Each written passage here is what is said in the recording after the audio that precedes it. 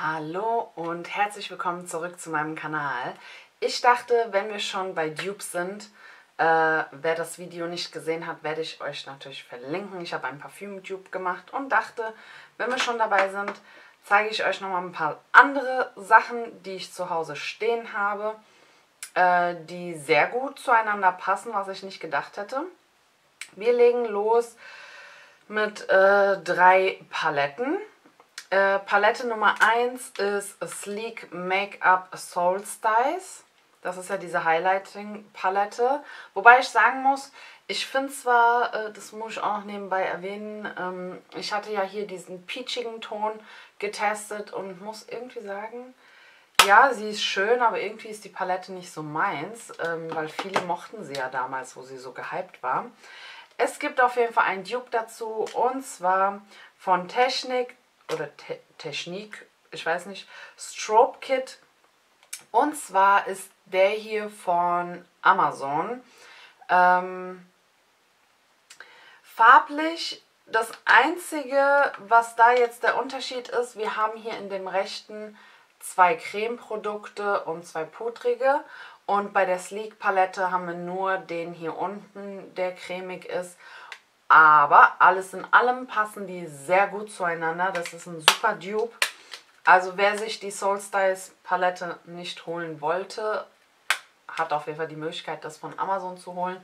Und soweit ich mitgekriegt habe, so was ich gesehen habe bei Amazon, Technik, Technik, wie auch immer, hat viele Dupes. Also man könnte sich da auf jeden Fall mal ein bisschen äh, umschauen.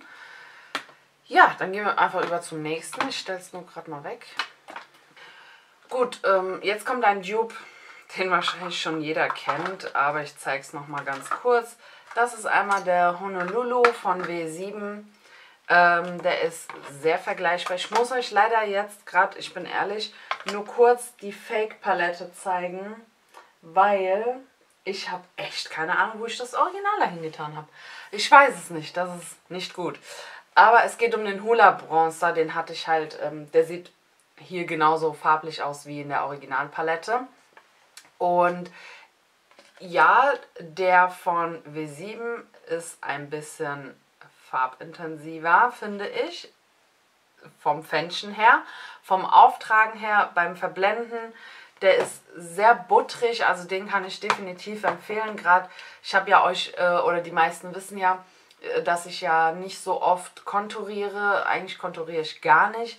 Ich bronze eher mittlerweile ein bisschen und muss sagen, ich komme damit sehr, sehr gut zurecht. Aber ich habe mich auch an den Hula Bronzer rangetastet und auch den finde ich ähm, richtig, richtig gut. Honolulu kann ich aber auch empfehlen, gerade für Anfänger auf jeden Fall sehr gut. Dann bleiben wir auch mal bei dieser Geschichte so mehr oder weniger. Es gibt ja von NYX die Highlight und Konto Pro Palette. Habe auch gesehen, die gibt es jetzt mittlerweile als Creme-Produkt.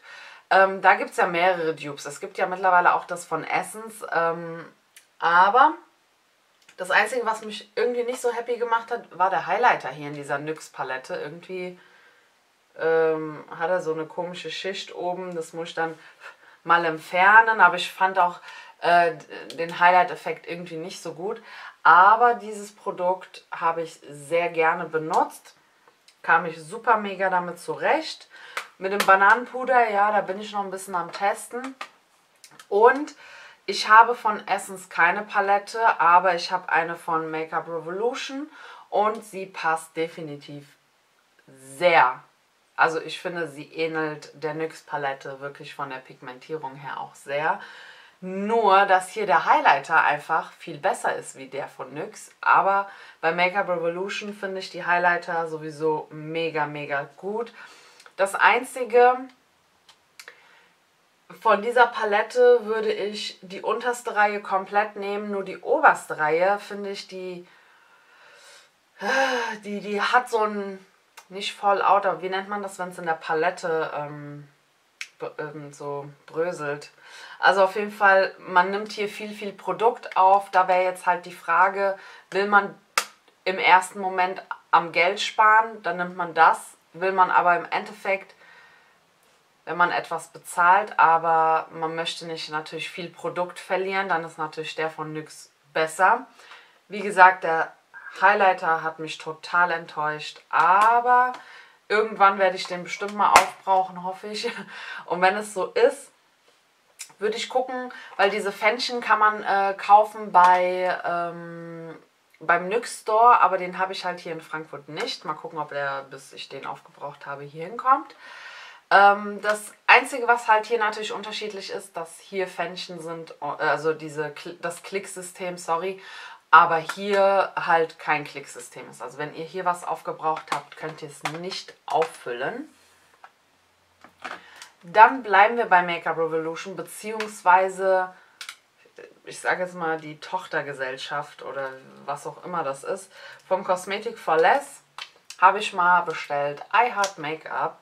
Und I Heart Make-up, die Chocolate and Peaches Palette, passt super duper ähm, zu Too Faced, zu der Peach Palette. Die sind nur anders ähm, angereiht und natürlich gegen den Duft. Also hier riecht es gerade nach gar nichts.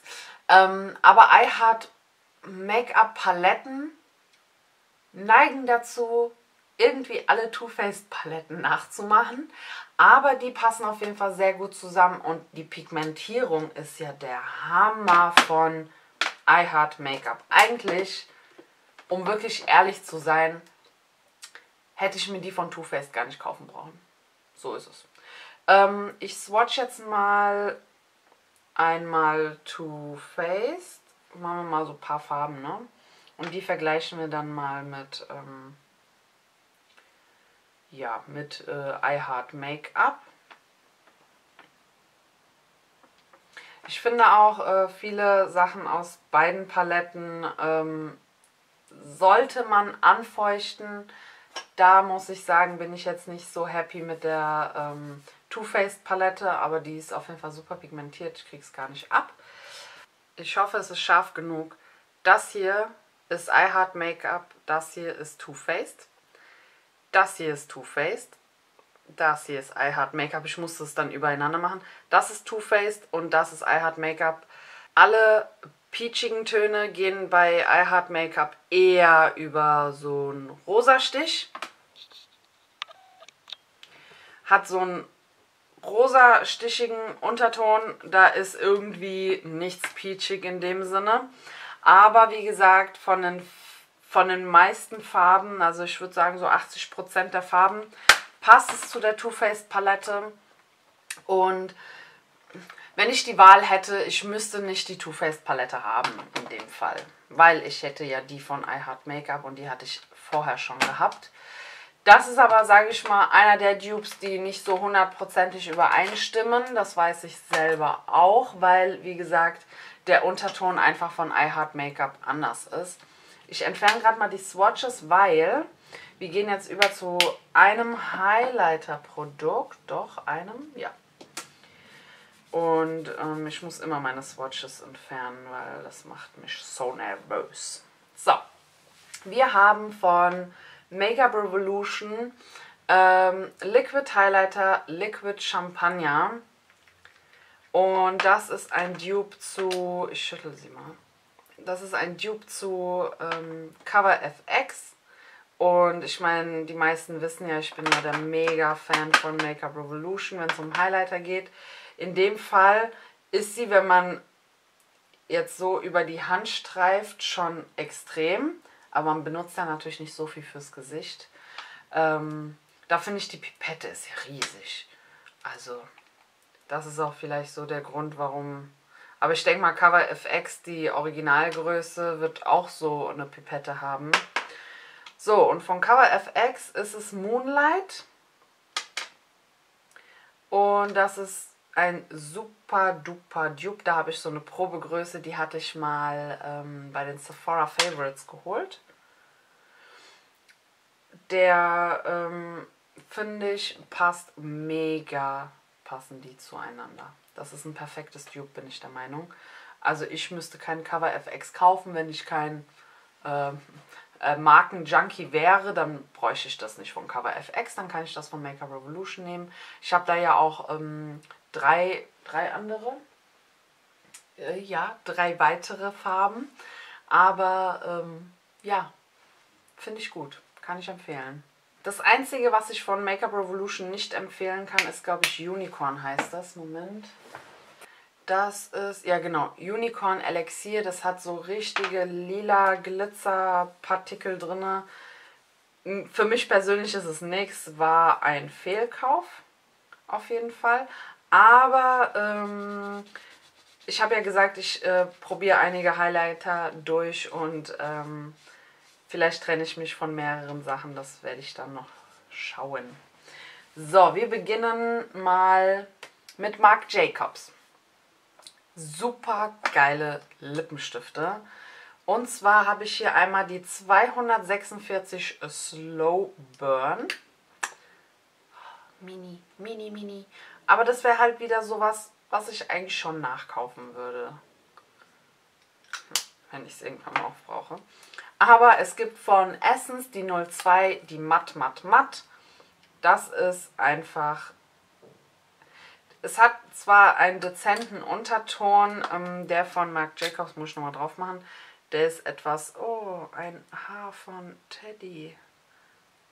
Also von meinem Hund. äh, lecker.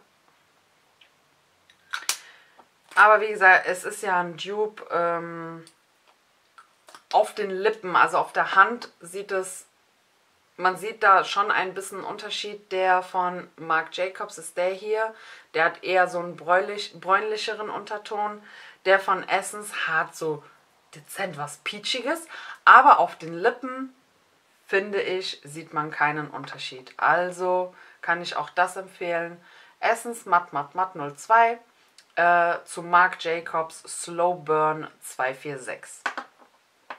Dann sind wir schon bei den Lippen. Dann nehmen wir mal MAC da habe ich äh, Velvet Teddy in der Variante matt. Gibt es auch nicht matt. Oh, ich kenne mich mit MAC gar nicht aus.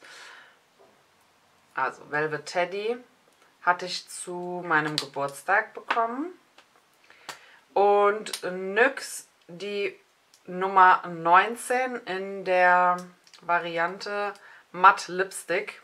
Ich glaube, die heißen so. Ja.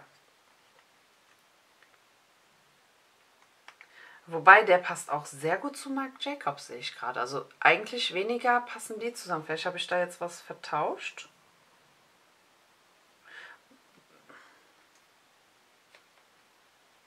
Moment. Ich glaube, ich habe da irgendwas vertauscht. Ganz toll. Ähm, oder es passt halt, nee, also zu Mac passt es irgendwie gerade gar nicht, finde ich. Nee, da habe ich wahrscheinlich irgendwie falsch gegriffen. Ähm, das hier ist der NYX Lippenstift und das hier ist der Marc Jacobs Lippenstift. Die ähneln sich alle irgendwie ein bisschen. Aber ich finde tendenziell der von NYX passt eher zu Marc Jacobs. Was ich mir jetzt da mit Velvet Teddy gedacht habe, vielleicht äh, weiß ich gar nicht. Ich will auch nicht irgendwas erzählen. Ich habe echt gerade keine Ahnung, warum ich das rausgesucht habe. Also das nächste und somit dann bei mir auch das letzte ist MAC Heroin. Habe ich schon geswatcht. Das ist einmal diese Variante ganz vorne. Und von NYX ähm, Seol. Saul, Seol, ich weiß es nicht. Auf jeden Fall diese Soft Matte Lip Creams ähm, ist das hier. Also ich finde, die passen sehr gut zusammen. Ich hatte erst gedacht, ich habe nämlich auch noch was von Sleek da, aber es ist ein bisschen zu dunkel. Ähm, wobei, je nachdem, wie oft man drüber geht, wird es halt dann dunkler könnte, könnte passen. Hat halt einen ganz anderen Unterton, weil der hier von Sleek in der 792 hat eher, eher Richtung lila Stich und der von Heroin hat ja doch eher, finde ich, was Rosanes drin. Und das sind so meine Dupes, die ich so ein bisschen ausgetestet habe. Es ist einfach so, dass wenn man schminkt, man hat ja auch nicht diese Ringleuchte, die ich hier jetzt stehen habe, ähm, diese Helligkeit, also jetzt vor der Kamera sieht man dann doch schon was, welche Farbe passt dann doch besser zusammen, wie wenn ich so im Alltag mich schminke. Aber wie gesagt, im Alltag ähm, finde ich bei, bei, also wie gesagt, Velvet Teddy sah für mich aus wie Essence. Nee, doch, ähm, wie, sorry, wie nix. Äh, was ich mir jetzt dabei gedacht habe, ähm, es kann auch sein, wie gesagt, dass ich jetzt nach dem Falschen gegriffen habe. Aber gut, wir haben ja jetzt dann auch hier drei äh, Essence, NYX und Marc Jacobs. Ist auch okay. Und ähm, ich hoffe, ich konnte euch weiterhelfen mit den Dupes, die ich hier zu Hause rumfliegen hatte. Mal gucken, was sich noch bei mir so findet. Ähm, ja, genau. Ich bin gespannt, was ihr in die Kommentare schreibt. Ich meine, ihr kennt ja auch viele Sachen von mir. Vielleicht kennt ihr auch einen Dupe, wo ich jetzt nicht drauf gekommen bin. Das würde mich auch super interessieren. Ansonsten wünsche ich euch alles Gute. Wir sehen uns beim nächsten Video. Bis dahin, tschüss.